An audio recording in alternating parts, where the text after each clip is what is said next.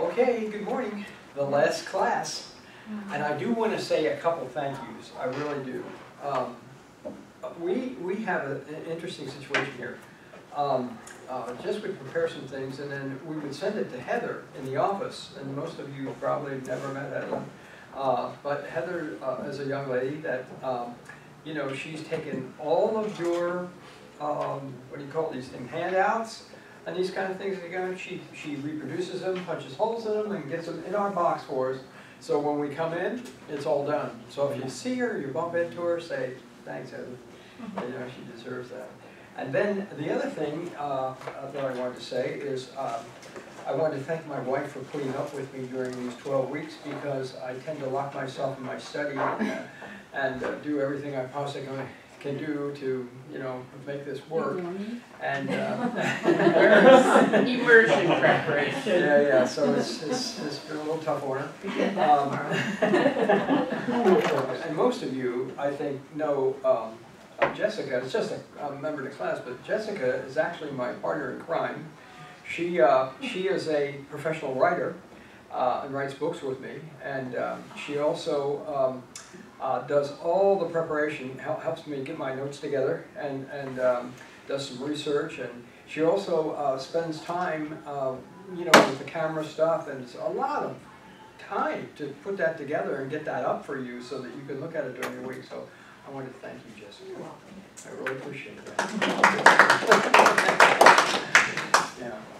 She keeps me straight too. She's got her master's degree, so I have to watch what I, know. Of, course, we want to thank Gary because uh, Gary came up with the idea, of James, why don't you teach some classes and, you know, all that kind of stuff. So I'm happy for that. And, and, uh, and we were talking last night, we're, we're kind of, uh, you know, conniving as to what we'd like to do in the future and stuff like that, based on some of the things you guys have told me and some other things, the other people. So we're, we're trying to put some good stuff together for the future. So I hope you'll enjoy that. So let me open with a word of prayer and uh, then we'll jump right in, okay? Thank you, Heavenly Father, for this special day for, for all the ladies and uh, the mothers out there, and especially those in their church and their class. And I just pray that you bless their life, uh, help them to see Christ in their life, help them to be able to be strong and be in good health. We thank you for this opportunity to be together, and we thank you for this last class, and, and uh, we thank you for the faithfulness of everyone. Um, And we just uh, pray that your Holy Spirit will keep inspiring us and uh, keep us true to the Word of God. Thank you, Lord, for this day. We pray in Jesus' name. Amen. All right. Good morning. There he is, David. Yes. Hey, how are you doing? Hi, how are you? Good, to see you. Good to see you, yeah. All right, we're going to dive in to, um, to the, um, what we call the purpose of this uh, book of John, uh, John 20, 30, and 31, which goes, how? Who would like to tell us what that says? Let's do it as a group. Go ahead, do it as a group. Now Jesus did many other signs in the presence of his disciples, which are not recorded in this book. Right? But these are written so that you may believe that Jesus is the Messiah, the Son of God, and that by believing you may have life in his name. Very good, very good. That's the purpose of the, the book of, the, uh, of John. now, what we want to do is I would like to take that one step further today and get into that in kind of detail. This is kind of our today. We're going to look at uh, uh, kind of some of the detail uh, with regard to John 20, 30, and 31, and then we're going to review session 7 through to 11, which would be fun. This would be normally your final exam uh, your, your uh, uh, midterm, you, you did real well, uh, uh, which was one through, through six. So we'll, we'll see how you do on the final. But basically, we'll make a kind of a discussion, a class discussion. We'll have fun with that. this first one, I want to point out some things to you with regard to uh, what we should know about John 20, 30, and 31. Because it seems simple when you just read it and recite it, Uh, now, Jesus uh, did many other signs in the presence of his disciples, which are not recorded here. Okay, uh, but but that you know uh, there are these are written. What he did do, written. Uh, Joseph put them down that you might believe that Jesus is the Messiah, that you might believe he uh, is the Son of God, and that by that believing you end up with life in His name. Sounds simple. Let me tell you what he really was saying. Okay? this is how this looks. and to do that, we're going to have to look at some original language. Now, I know you don't know Greek and original language and that kind of stuff, so I will be as slow and as intensive as possible. But here's what I want you to know. This entire uh, passage in John 20, 30, 31 is interpreted uh, by two different clauses. Okay, if you know these clauses, you get to what he's trying to say.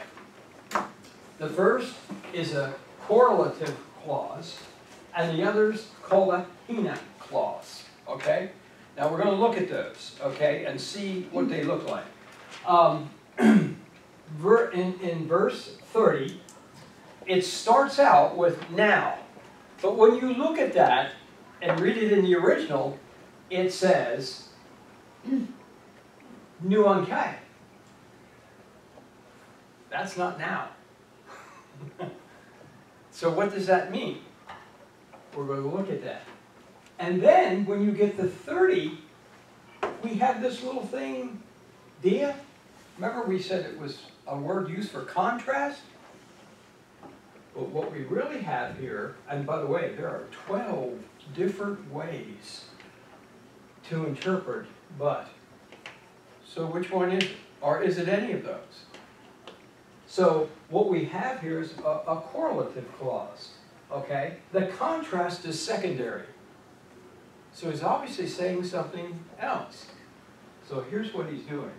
In verse 30, this is the interpretation. And I didn't write it there for you, but uh, you, you'll see it as we go on.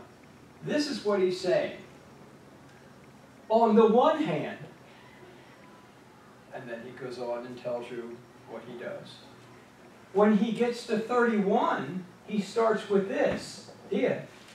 And it says, on the other hand. Now, how do I know that? I know that because if this were the only thing he used, it would definitely be a contrast between the two. But whenever this is, and this is pronounced men, M-E-N, okay? If, if, if this is hooked up with day, okay? What you have is a correlative clause. And that means on the one hand. so on the one hand, he's saying what he said at the beginning, these things were not selected, they were not put in here. But on the other hand, I've selected these. And this is exactly what we want to do. Now, in a minute, I'll get to that other clause, but first, I, I, want to say something about this because the, the signs are very, very important in this book. As we know, you have seven signs, you have seven discourses, and you have seven I ams, right? Okay? So as you look at those kind of things, you have to say to yourself, why is, is uh, well, the question you have to say is because you, you're, you've learned a little bit about interpretation now, and you have to ask the why and, and, and the observation and the interpretive question of why these signs? Look, but these implying signs, the objective signs, are written. Why? Why did he pick these? Okay, there's a reason. Okay, because these signs are sufficient. They're sufficient for connecting you with, or the reader with, the entire Scripture, going the whole way back to Genesis. If you remember those signs in, what was it, chapter 5, or, or lesson 5, that we went through all the signs, you look at that second category, and you look at how they display who Jesus is, wow. Where do they go? They're, they're not in the New Testament, they're, they're, they're way back here in the Old Testament. So what this does is it connects. And matter of fact, uh, many of you know uh, the scholar D.A. Carson. I like Carson. Um, he's got a lot of good things. uh, to say. But what he says is this, which I think is interesting. Uh, he, he, he asked the question, uh, like we just did, what, what, uh, what question does God really want to ask here? Uh, what's John trying to do? Okay, he says in 20, 30, and 31, uh, the question is not who is Jesus. He says this, the question is, who is the Messiah? Okay, now why would he say that? Think. Messiah is what kind of term? Very Jewish, right? Mm-hmm. Okay, mm-hmm. very Jewish, okay? It's a question that he believes creates a whole Christology in John, all about Christ being the Messiah. And that's exactly what he says. But these things are written that you may believe what? Jesus is the Messiah. Okay? The Son of God. Okay? So the, the, the reason that that's so important is who Jesus is, is important because D.A. Carson, I don't necessarily disagree with him, but he feels that a lot of this book has been written with regard to looking at the Old Testament, the Jews, for the Jews, so they get it clear who he really is. Okay? The Jewish people learn these signs, and when they see these signs, and when they, when they saw them, two things happened. What? They believed, or they didn't believe. It, it was that simple. But those signs connected them with what? The Old Testament.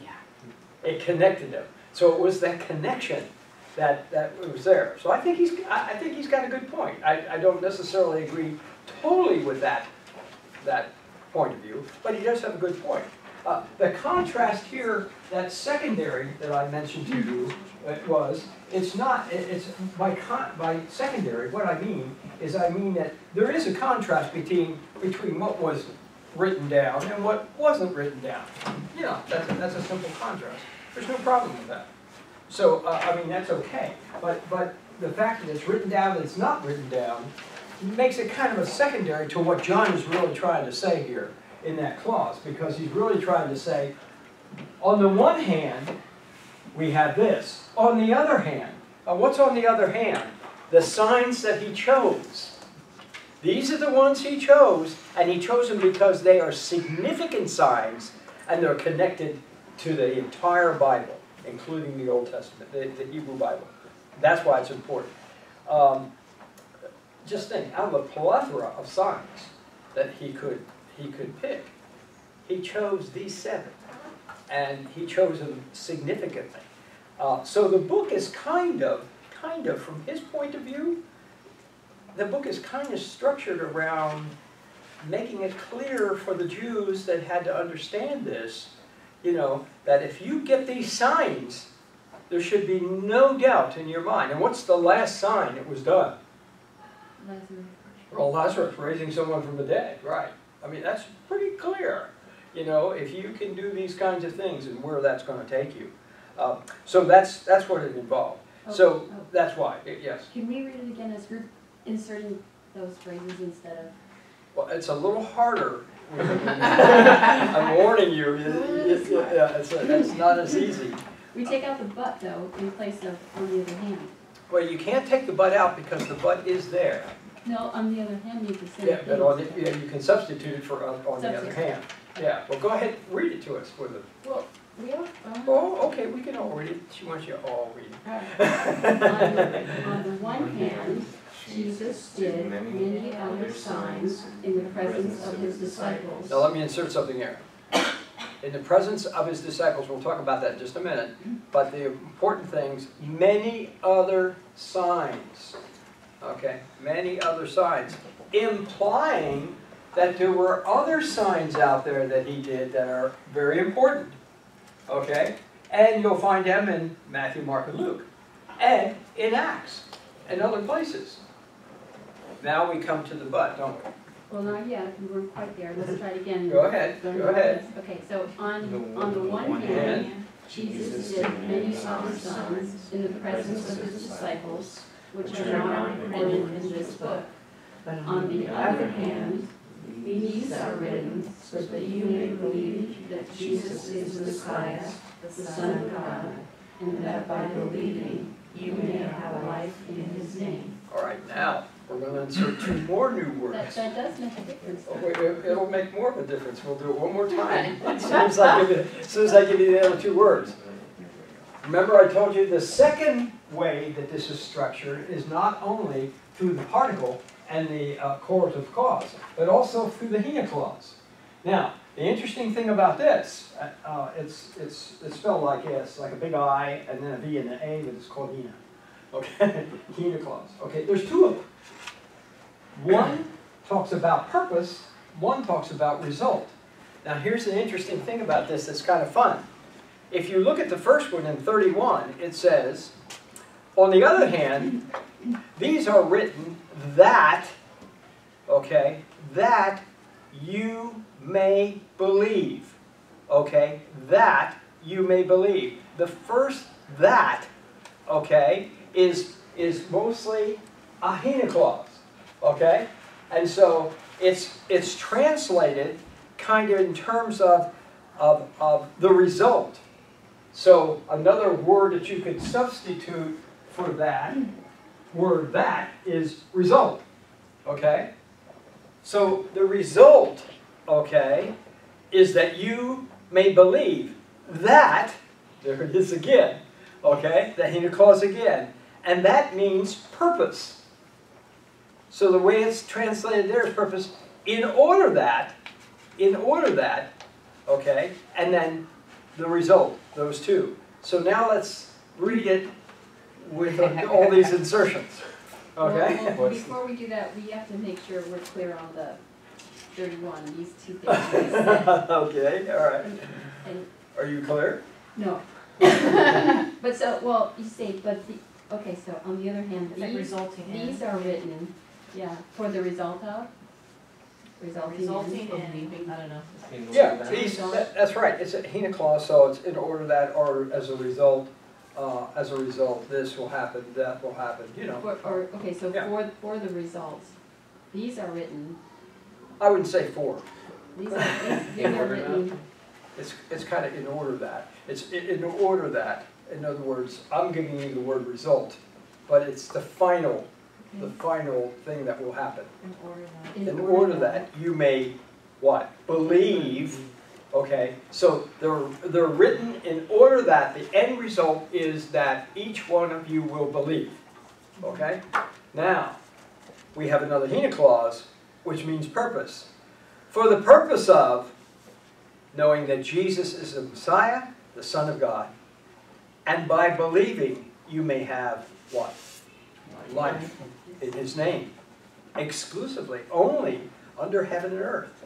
Only name under heaven and earth whereby you can have life and be saved. All right? So you see the power in this? When the Greeks read it, when the Hebrews understood what he was saying, and when that, that meant, that was very in your face in terms of what it is that, yeah. Now, since you have been through the entire book, Carson was correct then to say that, the- that this, these two verses are very important for the idea that, for the purpose of showing that Jesus is the Messiah correct, and the Son of God. and the Those- Son of God. Those two things, yes, because um, do, I don't want to get into this, but, but, uh, in, in detail, but, but are you familiar with Unitarianism, any of you? Or let me ask you a question. If I ask you, are you a Unitarian or are you a Trinitarian? What are you? Trinitarian. Thank you. Don't let anybody, Thankfully. don't, don't let anybody talk you out of it, okay? Yeah, That's exactly what you are.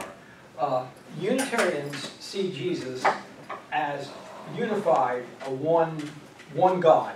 They see one God, but they do not believe that Jesus is the Son of God. Okay, they do not believe that you can kill God.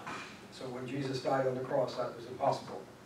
There's a lot of things, and they teach this in schools and uh, uh, that kind of thing. So I just want you to be aware of where they're coming from, um, and if you don't know much about them, uh, ask Siri to tell you. uh, uh, you know, just uh, go in there and she'll give you information and websites and you can look at it and look it up and all the rest, and that's all you really need to know. But the important thing is you, you need to know is that, is that John's whole assumption, somebody tell me what John one one says.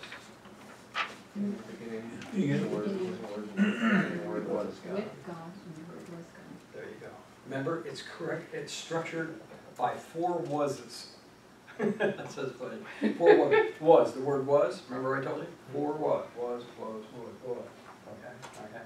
So that you understand the structure, and that's why he takes you there, so that you can go back to the, in the beginning. Okay, creation, at the very beginning. That's how it connects. So Jesus was in the beginning with God. He wasn't an agent of God here on earth. Okay? That's what they say, agent, okay? Just want you to be aware of those little things, little, you know, because you can be tricked, okay? And you need to be well aware of that. Okay, um, so now that we have that, um, on the one hand, um, Jesus did many uh, other signs and uh, in the presence of his disciples, which are not recorded in this book. But on the other hand, when you really look at this, uh, these uh, are written with the result that you might believe. And uh, Jesus is the Messiah. That's what we want you to believe. And he's the Son of God. And, and, and that by believing, by believing, you know, okay, you, you, you, you're going to understand that this is the purpose of why I'm reading this. This is, this is, I'm writing this. Everything that you've studied is based upon that purpose uh, that you, you might believe in. Believing, of course, will result in your life, having eternal life. You see how, it, that's how, that's how it reads. It's Okay. meatier than first glance. you Yes, know. yes. Much meatier than first glance. And I, I thought, you know, I really need to share that with- you because I think it's important. The second thing uh, that I wanted to talk about with regard to uh, um, this prologue and this epilogue uh, uh, confirm that Jesus is from the very beginning, like I just said, and he's also tied up at the end. But now we have to ask this question, how does John select the material in his testimony? You know a little bit about the signs, because we've, we've gone to that. But I want you to see something. Number one, he's connecting signs and discourses and all the rest of it. But he's, he's, he's allowing the signs to sum up all the things that Christ wants to reveal about himself and who God is. That's important. The next thing that's very important is making sure the disciples were witnesses. Notice that phrase, even in the in, in the uh, in John 20 and 30, 31. Uh, you know, uh, many says of uh, On the one hand, many says that wh- who, where with who? In the presence of the disciples. You see that? That's very important because those witnesses are very important to all all the different things that happen. it implies a historical accuracy. There's an accuracy there. And that's what's important about that. Um, then, the declaring the I am statements reveals the sovereignty of God, which we talked about the Trinity, and we just talked about the importance of the Trinity. Uh, so, we're now to another place. In verse 31 is the main statement, and it guides the whole thing. Notice, this is not a doctrine. The Gospel of John is not a doctrine. It's, it's not a theology, okay? It's not a, a, a, a pedagogy, okay? Some great teaching idea. Mm-hmm. No, okay? But it's based on principles of faith and believing. Pistos, faith. The same word for believing and faith. Same word. Yeah. Okay, yeah. So, this goal was using literary skills. What John did is he, his whole goal was to use his literary skills the way the Holy Spirit helped him to structure and select the things to talk about in order to maintain that purpose. That's what it was all about. And now that you have gone through the entire Gospel of John from beginning to end, that should really resonate with you that this is what he's all about. Everything in there is what this is about. Um, then, then uh, I, I, uh, I, I, I wanted to emphasize again uh, how he selected his material in terms of, of, you've heard me say the things that we just went through, but one of the things that, that I love about John is when you look at your chart and you see what's going on here, and most of you, I hope, hope everybody got the new chart, you know, if you didn't, uh, Kelly or Jessica or somebody has it, okay? Uh, make sure you get hold of this, and keep using it as you study. You know, write things on it, you know, uh, I highlight things on mine, you know, I'm sorry, I do that, but you're welcome to. You know, whatever it does, it helps you to see it. And remember how he teaches. He teaches in these blocks, okay? That's, a, that's critical to understand, because many of the Gospels, not many, but a couple of them, uh, confuse that. Now Matthew, what he does is he puts everything in a, in, a section in a little block. I mean, you got miracles, then you got parables, then you have, you know, just like that. And it's fun to study, and it's good to look at, but what John does is he actually starts here and he takes you somewhere.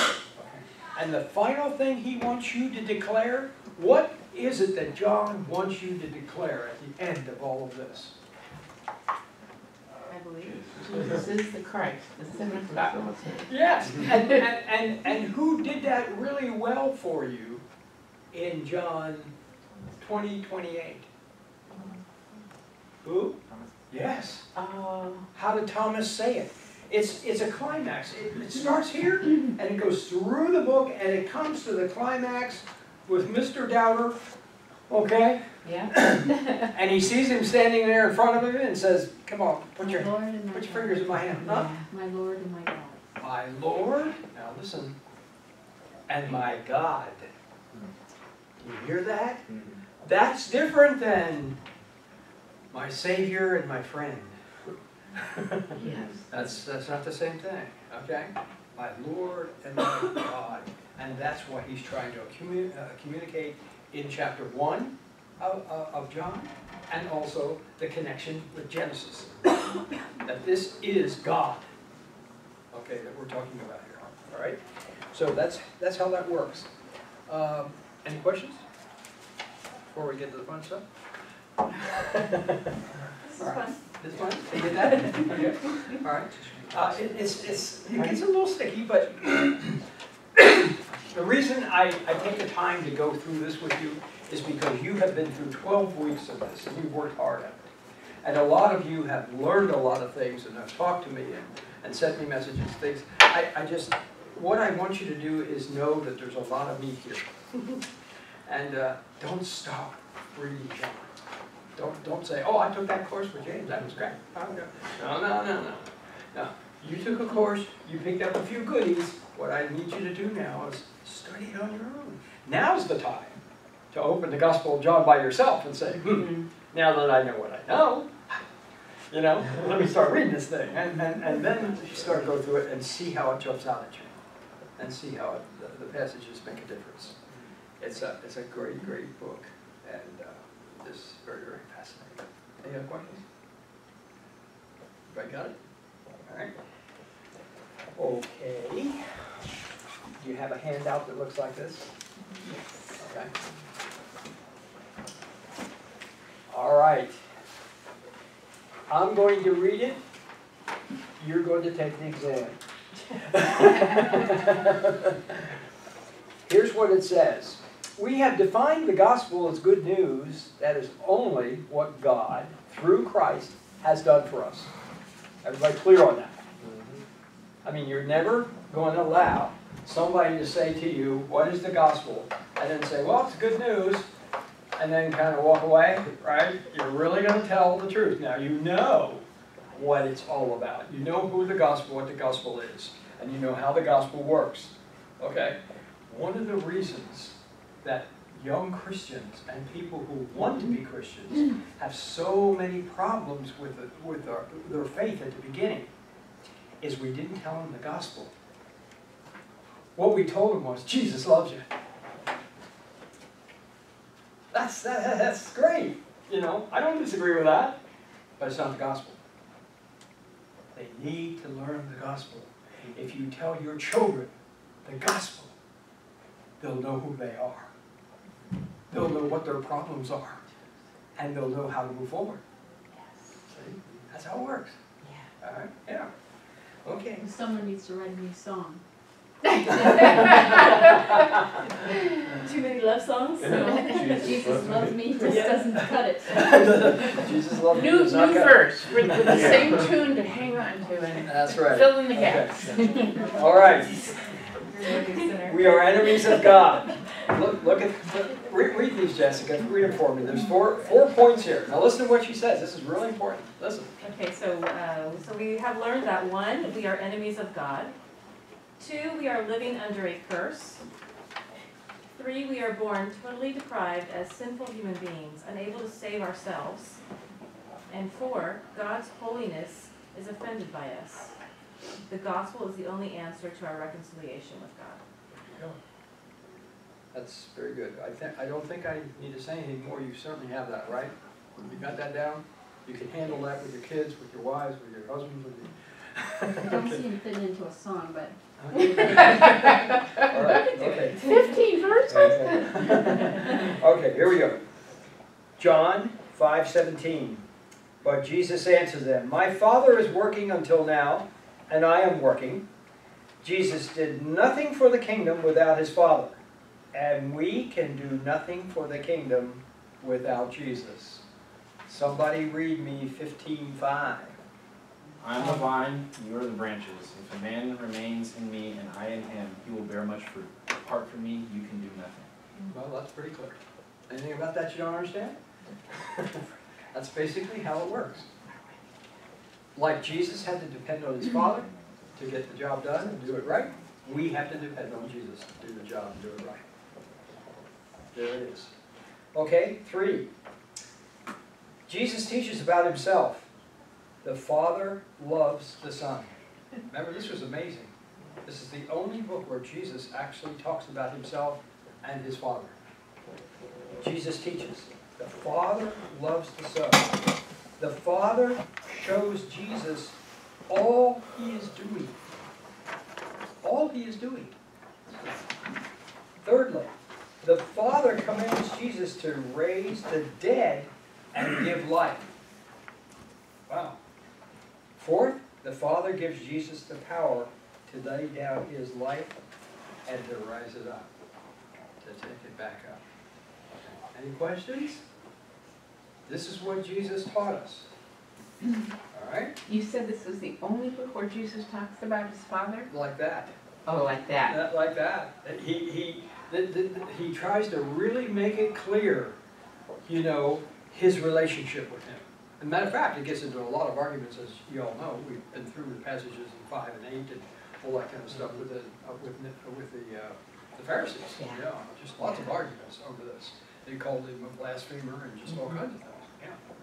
So, in John 5, 32 through 35, Jesus provides a witness to who he is.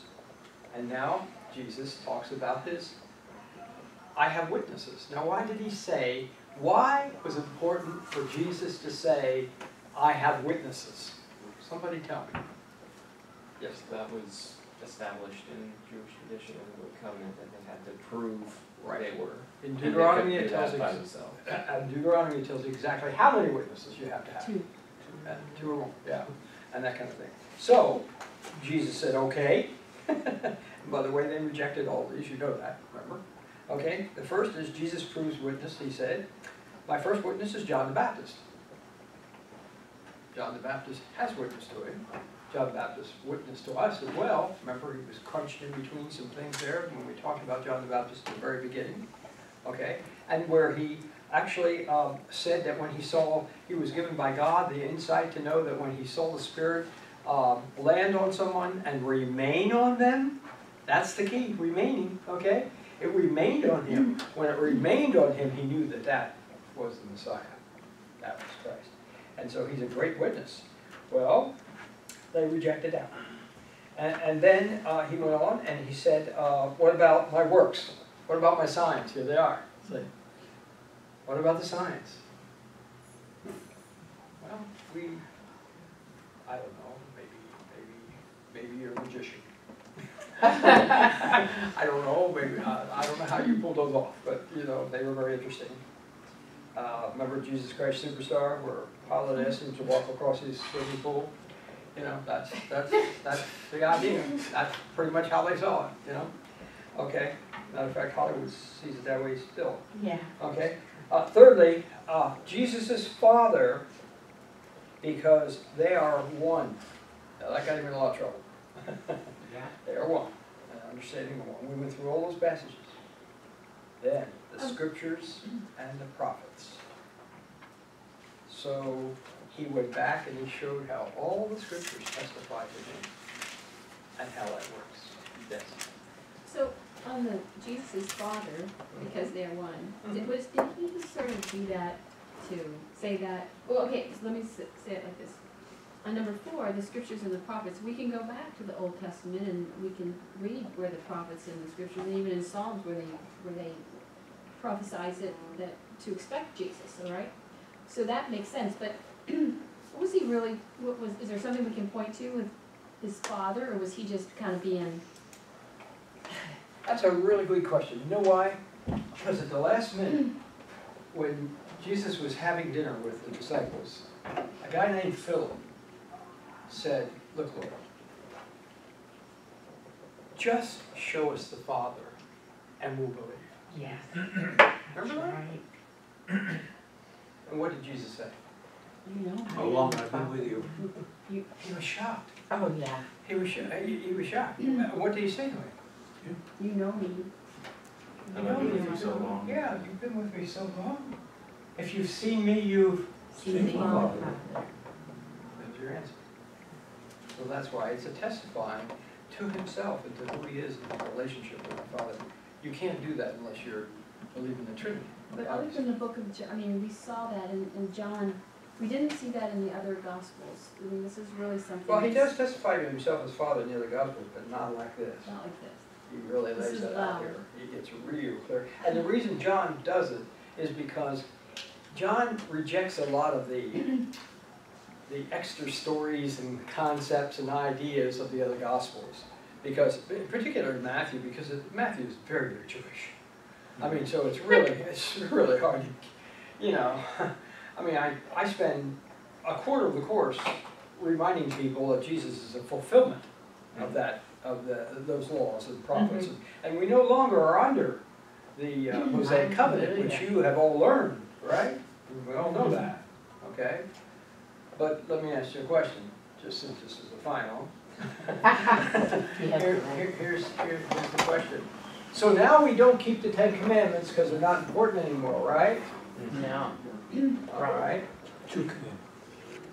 Well, Yeah, they're down to two, thank you. You're good, you're good at that. But we don't keep them anymore, right? Because we don't need to, right? Written on our hearts, Yeah. it's from the heart. Explain it. No, no, no, don't give me a pass. I want to know if you can convince me of that. What did Jesus do? You can help him. Because, because, because the commandments were given under the Mosaic law, which, uh, under the Mosaic law, where you, no one could keep it, it was impossible. And now with Jesus' death and resurrection, we keep them because they're on our hearts. And he helped, he, he's the one who does it for us. Okay, but basically, you just told me what he told me. Okay, Sarah, The explain it to them. The Holy Spirit at this point um, did not dwell within the believers. It dwelled among the believers, but separated through the ta- like um, through the walls of the tabernacle. Um, and the the Spirit of God could not dwell in their hearts yet because that propitiation hadn't been made and they were still unclean.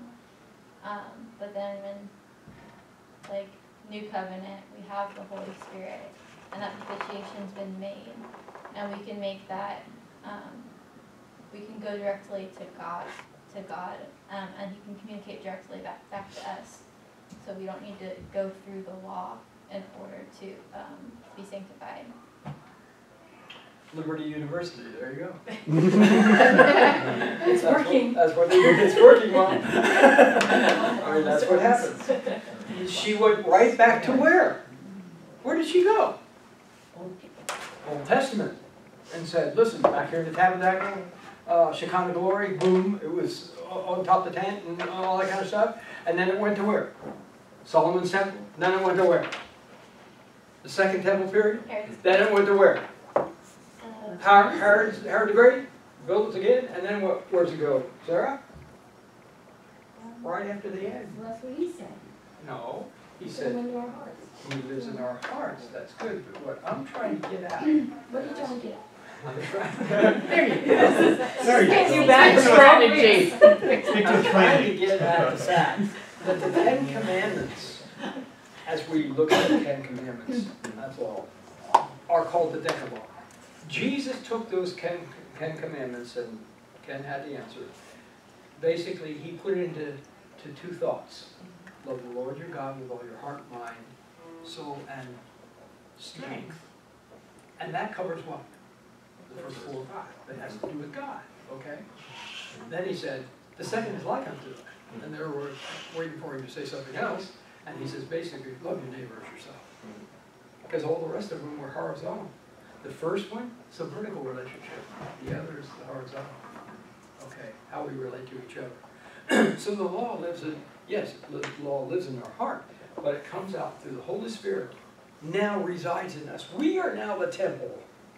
This is what I want you to say, just tell me, you're the temple. That's who you are. You're the temple of God. And that's where God resides, in you. Okay? Make sense? And if you walk by the Spirit, you will not fulfill deeds of the flesh. Absolutely, absolutely, that's correct, yeah. That's what we're saying. All right. What's the next one? What number am I on? Hmm, five. Five. Okay. Jesus reveals himself as God of all creation, whose name is I am. We heard that back in the Old Testament, right? Okay.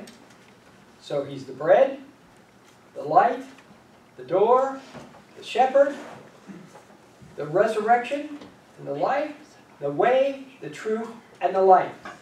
And most of all, the true vine.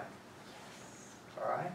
So we've got it all there. Now, by the way, when we went over that, and we studied that in class, and we looked at some of these, uh, the one thing I didn't get a chance to do was contrast uh, the true vine passage in 15, 1 through 8. What I'd like to do is kind of contrast that with Romans 11. so right, right, just right in your little margin there, so you have that. That if you go to Romans 11, uh, it's actually Romans 11, 11, but actually regarding the vine, it's Romans 11, 17. Okay, and basically what 17 and following does is Paul unpacks it for you. He unpacks John there and tells you exactly what John was trying to say about the vine. Okay, and how that works. So when, next time you read John and you get to 11, 1 through 8, jump over to uh, Romans 11 and 17 following and, and read that, and that will help interpret that for you. So you get insight to it. All right? Yeah. Six, Jesus' high priestly prayer. Oh boy, 17. Jesus was given this priestly function in the order of who? Melchizedek. Melchizedek. Yep, Not through the order of Aaron and the Levites. Tell me why, why, why, why? because he died. Independent of that covenant. Pardon me? Independent of that covenant. That, that's right, okay, it's to- all dependent. And, and, and no longer involved with priests and, and offerings and sacrifices and all that kind of stuff. Over and over and over and over Aaron, right, again. over and over, to Aaron the high priest, okay? Understanding Melchizedek, we went through that in the relationship to Genesis fourteen, and with regard to the Abrahamic covenant, and Psalms one-ten with uh, regard to the Davidic covenant, uh, and in Hebrews seven, twenty-one through twenty-two with regard to the new covenant. Very, very important, okay? All right, seven. John only used these verses to explain the actual accounts of Jesus' death. John 19, 28 through 30. Now, remember us saying that out of all the Gospels, he only gives three verses to the death of Jesus. And then we said, why would he do that? okay. However, he sprinkles information about Christ's death throughout his entire gospel. He works it and wiggles it into almost every conversation along the way. So it's all there. So, for example, John wrote about the new birth in 3.7. Jesus being lifted up in 3.14 through 15, like, it, uh, like the serpent was in the wilderness. The farewell teachings to his disciples in chapters 14 through 17, and in his temple cleansing in John 2, 19 through 20. All of them are related to the death of Jesus. Fascinating. Guy's a brilliant writer. I mean, it's a way, of course he had a little help, which is really fair. Holy Spirit knows what, what he's doing. But, but basically, to put that together like that is really um, a wonderful way to, to, to teach something.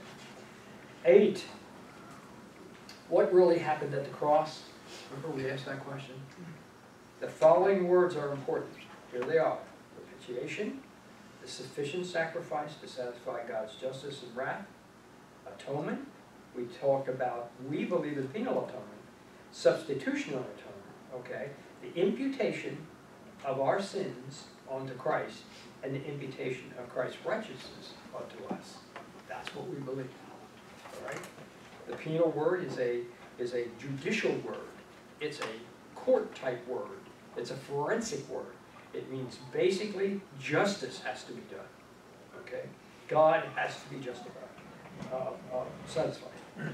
Number nine, Christ's death on the cross provided salvation for all human beings who will believe that Jesus is what? The Messiah. And the Messiah. there it is, I mean, right there. Then ten, when we learn from Peter's reinstatement, okay? What did we learn from Peter's reinstatement? Somebody read some of that.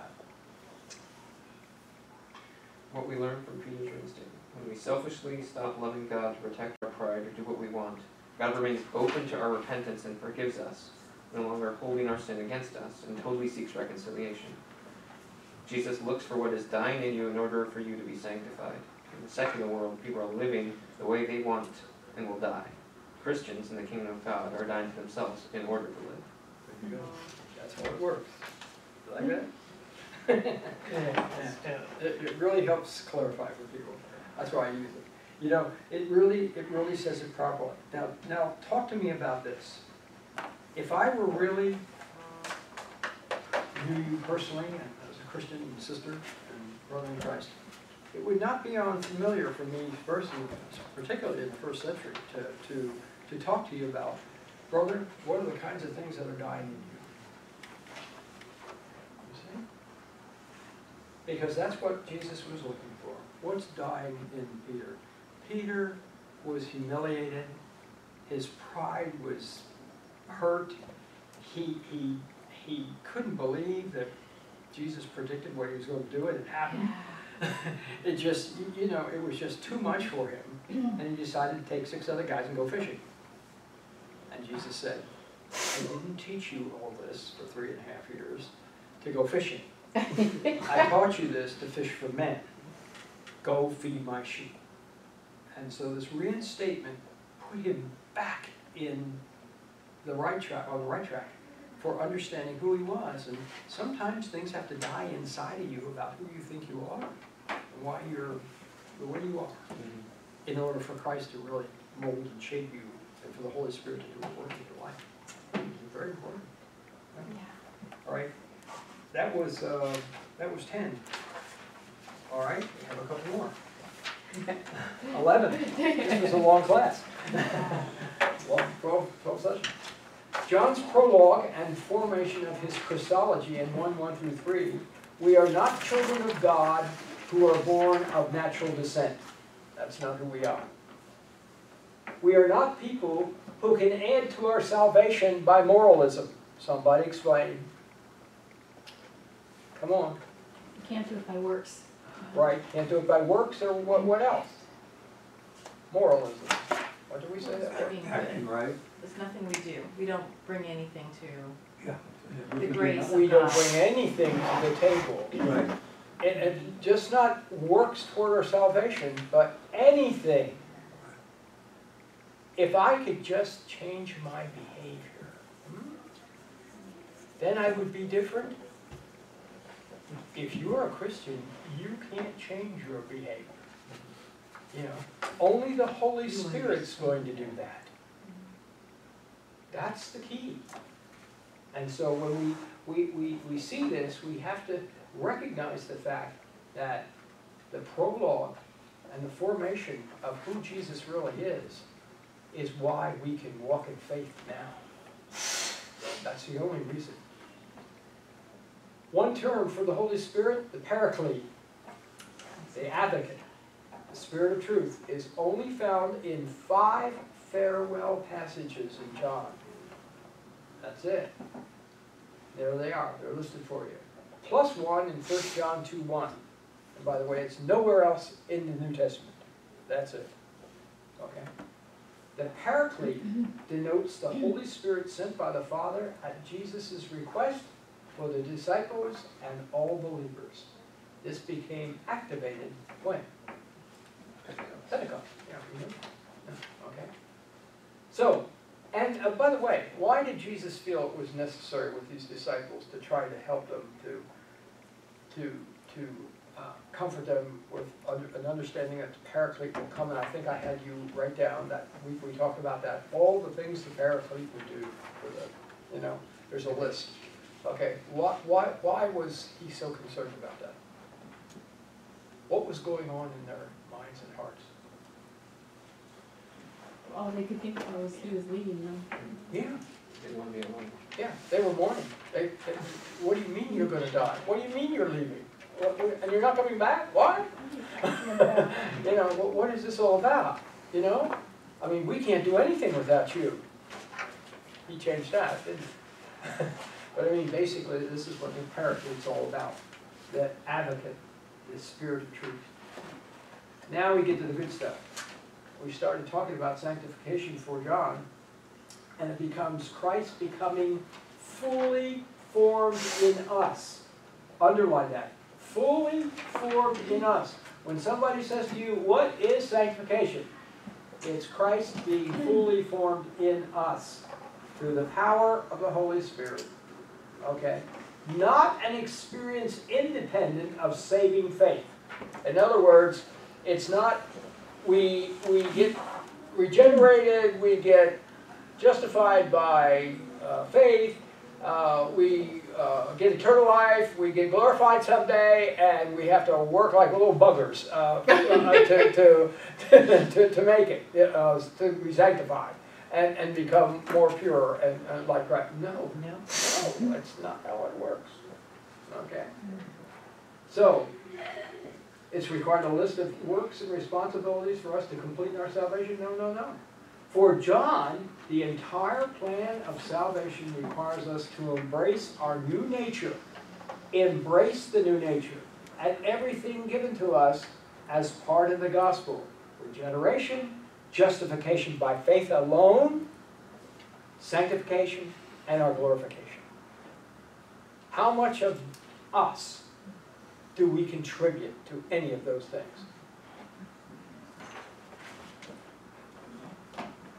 Well, Nothing. thank you, thank you, nothing. All right, very, very important, yes. I had to do one last week, but I wanted to make a contribution to the class on, on a verse, um, that, that proves what you just said. It's, Oh, it's first, and it's my life verse. First Thessalonians five, twenty-three and twenty-four. All right, I'll read it. You want me to read it? sure, go ahead. First Thess- Thessalonians five, twenty-three and twenty-four. Now may the God of peace himself sanctify you completely. And may your whole spirit and soul and body be kept blameless at the coming of our Lord Jesus Christ. He who calls you is faithful. He will surely do it. Mhm, That's right, yeah. He does it. He does, he does it all. The, the thing that we have to be, watch here, it's, it's, as, as Christians, we desire to do the right thing.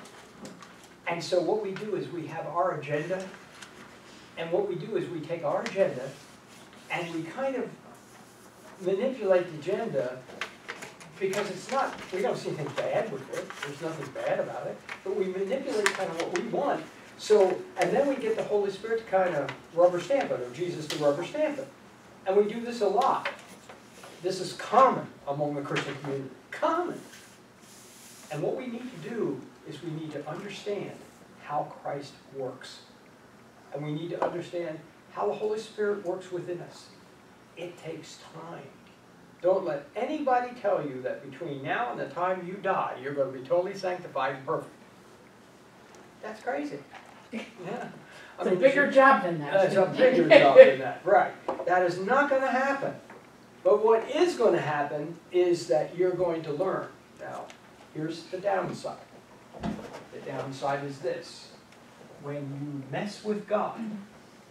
and when you mess with the Holy Spirit, He has no problem disciplining you. What do you say, what do you mean when you say messed with, what's an example? Manipulated. when, when- when you, if I come, if I say, you know, Lord, I've always wanted to, um, uh, be the pastor of, um, of, um, that First Baptist Church in Dallas, okay? Where my friend Jeffress is, okay? I always wanted to be the pastor of that church, okay? So now, what I do is I go out and I talk to everybody. I meet with the people in their church, I, you know, buddy with them, all of us, and, you guys are looking for something, um, now, I'm setting myself up and I, I'm getting myself, and then voila!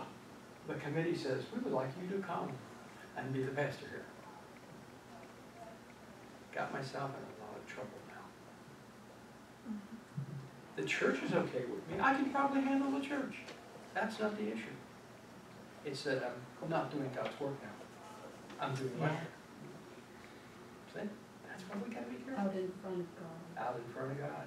We're out in front of Him, you know? Things take time. I just wish Christians would learn that. It's, it's through time that you are perfected. Through time that you become um, everything that God has in mind for you. Okay? And that's what we have to do. We just have to remember that. I, I, I share that with you again and again and again, and hopefully it sinks in. But that, that, that, that- that's a real life lesson, you know? Um, fourteen, for John, it is more accurate to describe sanctification, and, and this is how I'd like you to learn it, as a slow transformation in becoming like Christ in character, behavior, and attitude. That's what it's about, guys, all three of those. Character, behavior, attitude, okay? And it's slow. It's a slow process. I don't even like the word process. Not a long, drawn-out process with perfection at the end of the tunnel. Uh, remember we had this big discussion about process? The problem with it is you don't know where you are on the line. Some may be here, some may be here, some may be here. Okay? But then what happens? Every time you do something wrong, you slide back on the scale. You know, now you're here, and now you're here, and that, you can't, you can't work with God that way. God is, it's not a process. What it is, is it's a transformation that goes on in your life. And it's based on not your decisions, on you and God working together to move you where you want to be. That's the exciting thing. Where he wants you to he wants you to be. Yeah. Well, hopefully it's the same place. Yeah. Yeah, and that's, that- that's how it works, okay? So John does a beautiful job laying this out. I mean, it's, it's just a, read Jesus' prayer. I mean, the high priestly prayer is phenomenal. Okay? For John, this is a more accurate way to describe it. Then, fifteen, lessons from the Christian community are what? What are our lessons? The gospel is not a launching pad for programs. What do I mean by that? Three ways to love your wife better.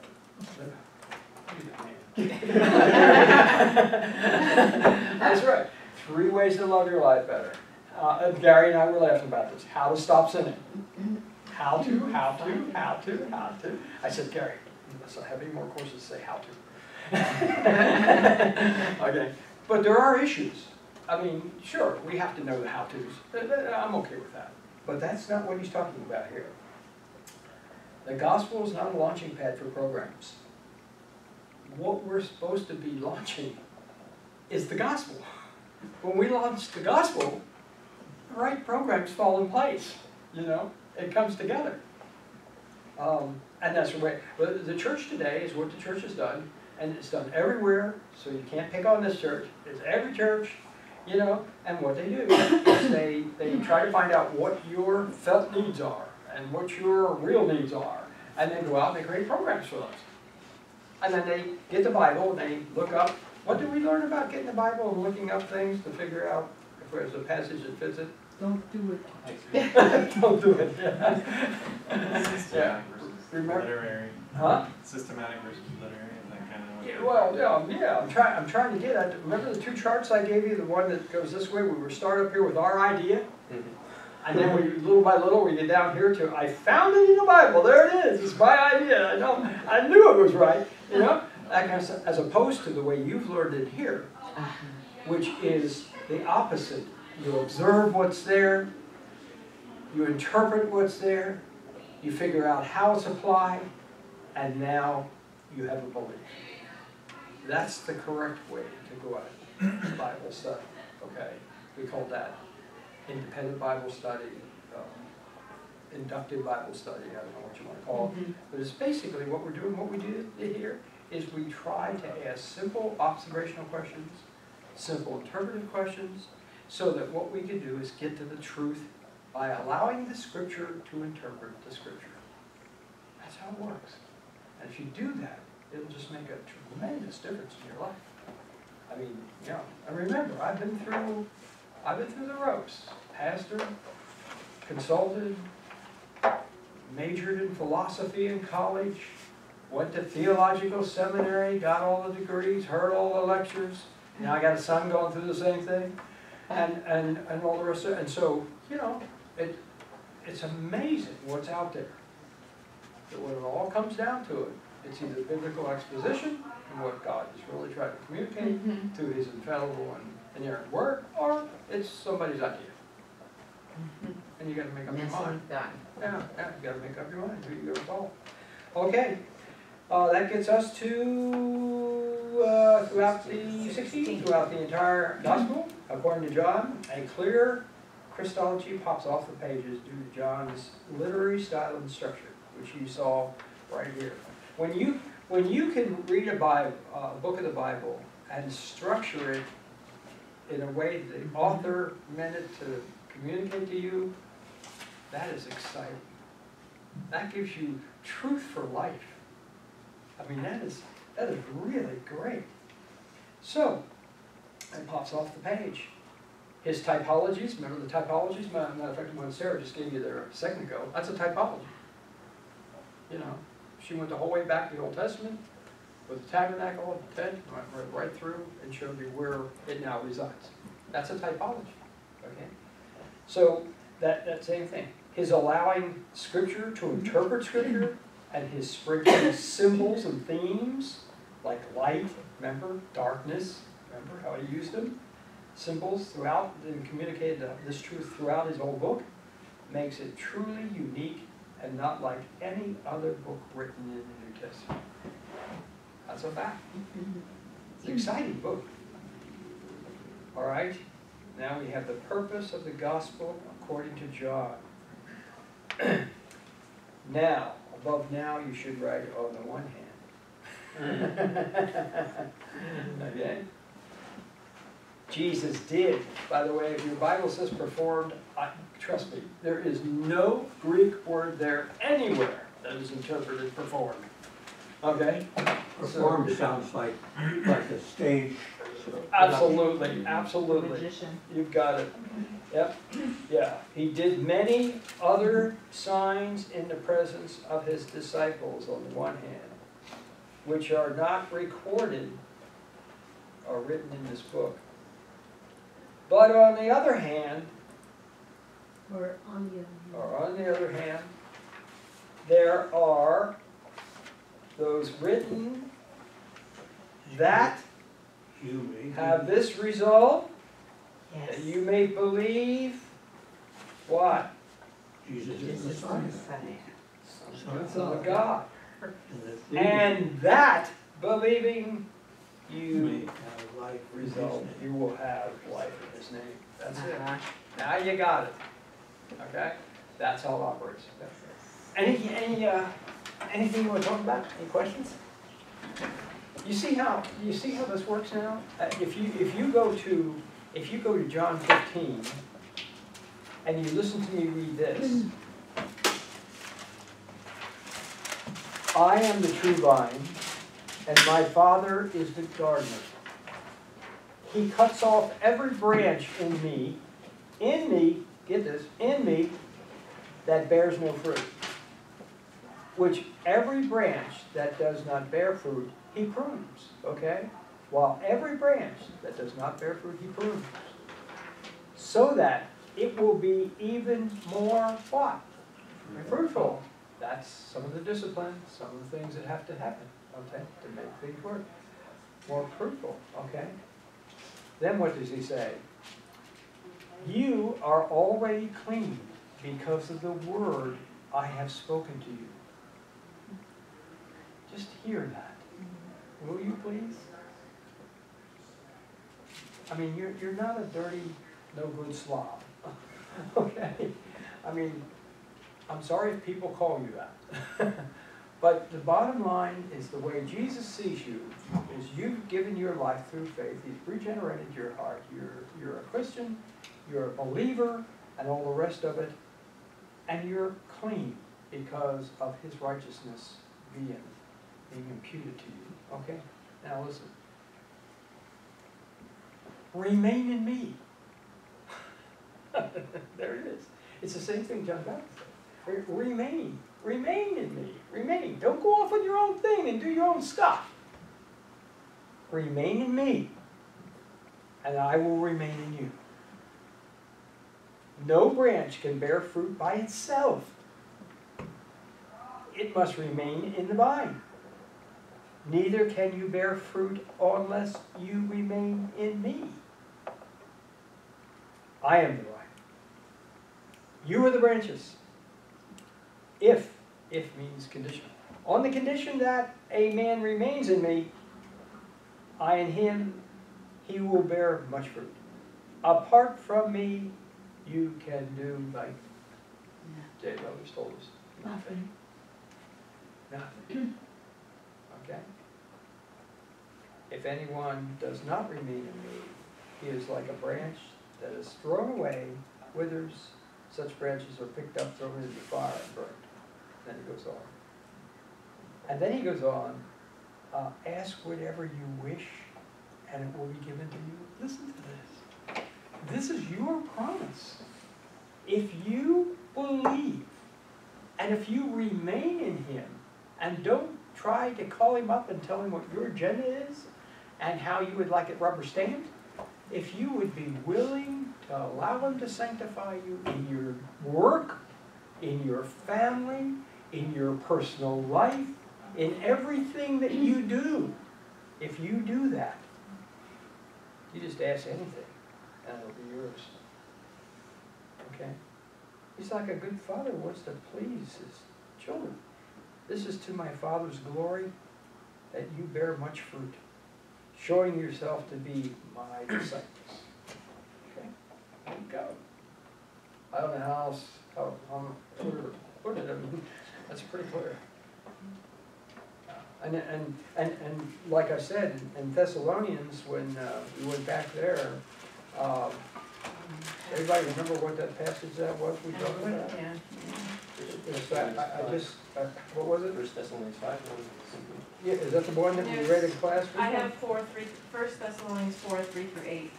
Somebody look at, look, look at that and read that to me. I think it, uh, it- it just sticks in my mind. It constantly sticks in my mind because it, it makes plenty of sense. Yeah, about sanctification. Yeah, yeah, yeah, yeah, read it, nice and slow. Listen to this first verse. It is God's will that you should be sanctified. Yeah, now think about that. Is there anything about that that you don't get? You hear that? Is there anything about it you don't get? Clear. Well, okay, so don't come to me and say, well, what do you think God's will is for my life? You see what a dumb question that is in light of the scriptures? Yeah. I mean, that's, that's my point. Now, like I said, we discussed that, we went through all the immoralities, all the problems and all the rest of it, and the kind of things he says, and we read through that whole thing and discussed it. I get it, I, I understand that, and basically he puts a lot of emphasis on what you should be doing and what does not work, okay? And he makes it very clear. And if you're not clear on that, you should go back to the next class and look at the video, because we spent a lot of time on that. But what I want you to hear is, he's, it's very clear in the scriptures, there and other places, what God wants for you and what his will is for you, okay? God does not want you to all become missionaries, our pastors, our preachers, or the best church worker in America. That is not his goal for you, okay? He doesn't care if you are in a business, or if you're working for a high-tech company, or if you're, have a business of your own, or you, that, that's not God's issue. God's issue is you. He wants to know, uh, will you honor me in that company? Will you be who you say you are when you do the work of that company? Will you, uh, will you treat your wife and your wife treat your husband the way you should do that according to what I've taught you in my word? Will you sanctify that relationship together? Yeah, I wrote an article some time ago on our website. We have a website called uh, netafirm.org. And I guess it's still on there, I don't know. But basically. I- Yes, it's still there. I I don't know. Just- Jessica knows more about this stuff than I do. But, but, but, but basically, it was how, how the man works to sanctify his wife. And it's the other way around too, by the way. Okay? So, I mean, these things are scriptural. They're the kinds of things that God wants us to do, and they're very clear. And what we do is like uh, Patrick was saying to me this morning, the world really comes down on you. The world out there is tough. And, and, and to make decisions and to do things with your life is not easy. He's right. I mean, you know, you can have a wonderful wife like his and three girls and be challenged twenty-four seven. I mean, because all those girls are going to live and have to function in the world. And wow, today, in our society, in this postmodern thing, I'm glad I'm not raising kids. It's just, you know, it's Be hard. And, and- well, and here's your encouragement right here. Mhm. First Thessalonians five twenty-three. Yep. And now, and may the God of peace himself sanctify you completely. It's God who sanctifies us. We don't have to That's right. do it ourselves. He does it completely. He does a good job. He does exactly what needs to be done in your life now. And he will help you to get to the next level. Mm-hmm. It's trust. You have to trust him. Or you have to say, this is what I like. I'm gonna do it my way. Come on, rubber stamp, rubber stamp. Question. Someone talked to me recently and said, God will, will answer that prayer, even when it's your thing, not his thing. It's scary. Yeah, yeah, uh, well, we learned in here, I wish you had been here. We-. We, we learned in here that if you're praying, there, there's a prayer that Jesus never could pray, and that's the Lord's Prayer. Why we call it the Lord's Prayer? Got me. It had to be, had to be somebody that was, uh, uh, on a committee, uh, putting, the- putting the Bible together and thought that would be cute. Because, because he, they asked him, how should we pray?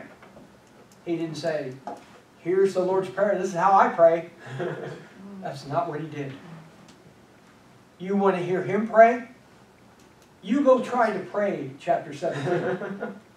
See how well it goes for you. That's the Lord's Prayer. Mm-hmm. Yeah, that's the difference. You know, we, we, he's given us things to see and to overcome, and we can pray, and he hears, and he listens, if we remain in him. That's the key. I mean, you know, those of you who have children, you know. What verse is it that we, that our, our prayers are according to his will? That Uh, he will hear it and he will, he will answer that And he will prayer. answer this prayer, Is that in John? I'm not sure. David, you were trying to give me? Yeah, go ahead. A while ago, we said about marriage, the sanctification of the marriage relationship. The husband and wife should grow together, become more and more like Jesus, right? Correct, absolutely. And and, uh, the, the bride and the church, you know, is husband and wife. Right, right? that's why Jesus used that. No, the, the, the wife or the husband are not supposed to be like picking on each other, That's right. right?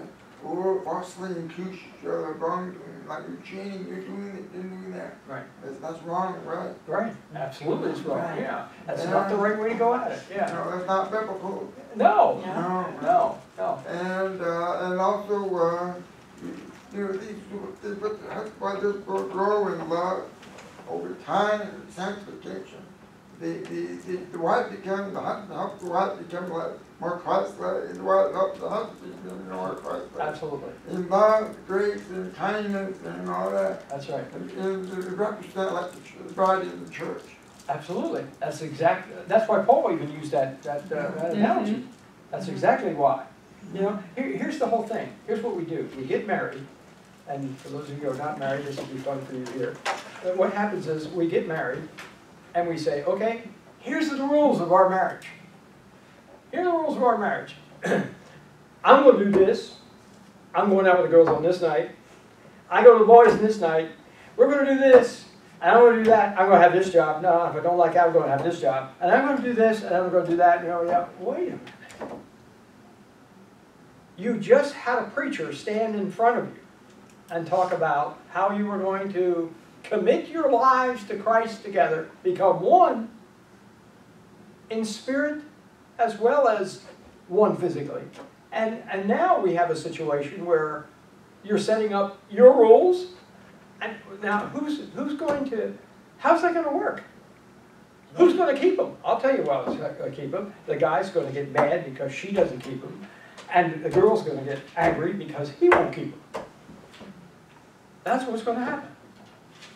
Why do we throw God out when we go through a consecrated piece of life? We do the same thing when we get into uh, uh, business. You know, we do the same thing with business. We get into our business and we, well, okay, well, go ahead and cheat on the taxes, who cares? You know, I'll, I'll go ahead and do the. God's saying, hello, hello, hello, Remember me? remember me? You know, you know, uh, you want me to bless your business? You want me to help you? How can I do that when you're doing that kind of stuff? Let me give you five examples out of the scripture of, of people who tried that number that didn't work, remember? He, he can give that for you. So, so I'm just saying, if you really truly are going to believe John, and you're going to believe that Jesus is the Messiah, and that he is God, and that he truly lives inside of you, that you are the holy temple of God, if that is really clear, then there's no reason why marriage or any other relationship that you happen to have with the outside world, you shouldn't be remaining in Christ while you're involved in that relationship. Now, I, I, I'm with you. I understand that the world's gonna make it tough. They're not gonna want you to do that. That's why you are who you are. Jesus said, I've overcome the world. Hang in there. I know what you're gonna go through. It's not gonna be easy. Okay? But if you stay with me, I'll stay with you. And it will work. And there's many, many testimonies to that. Sometimes we hear them in church and other places. But that's, that's, that's the key. It's not easy. It is not easy. We make more excuses for why we want to do what we want to do than, mm-hmm. it's just amazing. I mean, And I'm guilty everybody does it. You know? Show us what it works. Yeah. True. Anything else, anybody? Kelly, I gotta say, I'm real impressed. I don't think you missed, maybe you did. No. You, twelve? Right. classes. Kelly's in high school, she's going to, uh, do some college work next year. She's capable mentally of doing things like that. But basically, um, to have a high school person in here to go through this, this is tough. This has not been really easy. I'm really impressed. We Thank you. love Kim. Thank you. Thank you, Cal. Yeah, Very impressive. Okay, very good. All right, uh, who would like to pray? Go for it. Lord, we thank you for uh, the life and work of Christ that we got to see through John's eyes and what he was highlighting with your help, uh, Holy Spirit guiding him. We thank you for uh, the men and women who preceded us, who have passed this down faithfully, and in your grace, you gave us an awesome story here to see and understand better you and have you revealed to us by your power, Lord. We thank you uh, up until this point in history, Lord, that's landed for James and others to facilitate this class. We thank you for the environment um, that we've been in. Lord, we ask that you would write these things on our hearts, that we would see Christ in these scriptures. Holy Spirit, we pray that you would reveal him and change us as we see him, Lord, to be people who are these things, who don't just act a certain way, mm-hmm. but are being changed to be more conformed to you, bringing you more glory, God. Mm-hmm. We pray that you would be highlighting specific things from this class in the coming weeks and days and months for us, Lord. We ask that you would put people in our path to share these truths with, that they would benefit as well, Lord. And we ask that you would just help us to be faithful in that simplicity, Lord, to say that you are Christ, you are God, our Lord, mm-hmm. you are God Himself, mm-hmm. and we believe and trust you, Lord. So, in the different ways that each of us are learning where we ought to be trusting you, where we are not, where that trust is incomplete, God, we're asking for you to show us that. Give us boldness to address that, Lord, and for you to meet us in that place, mm-hmm. and bring strength where there was weakness, Lord we're really excited about who you are, God. So keep showing mm-hmm. us more of that. And uh, yeah, bless us as we walk. Pray this in Jesus' name. Amen. Thank you very much. Thank you.